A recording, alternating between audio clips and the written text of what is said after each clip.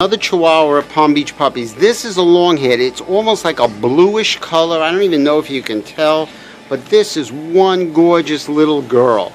She is beautiful. She has a gorgeous coat. If you see, she's got a little white. Oh, can I show on the look at her little paws? She's got a little white in her paws, and she is just a little sweetheart. So come to Palm Beach Puppies in Boca Raton and look at our little long-haired Chihuahua. It's kind of a blue color a blue merle in Boca Raton.